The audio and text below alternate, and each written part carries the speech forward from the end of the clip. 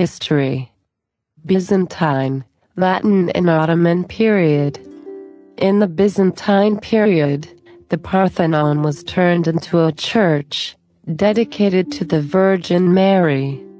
Under the Latin Duchy of Athens, the Acropolis functioned as the city's administrative center, with the Parthenon as its cathedral, and the Propylaea as part of the ducal palace. A large tower was added, the Frankopyrgos Tower of the Franks, demolished in the 19th century.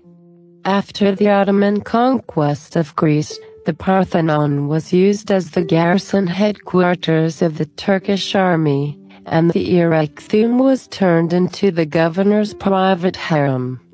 The buildings of the Acropolis suffered significant damage during the 1687 siege by the Venetians in the Morean War. The Parthenon, which was being used as a gunpowder magazine, was hit by artillery fire and severely damaged. In subsequent years, the Acropolis was a site of bustling human activity with many Byzantine, Frankish, and Ottoman structures.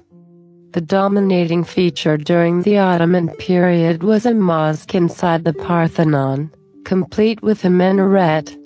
Following the Greek War of Independence, most post-Byzantine features were cleared from the site as part of a Hellenizing project that swept the new nation-state.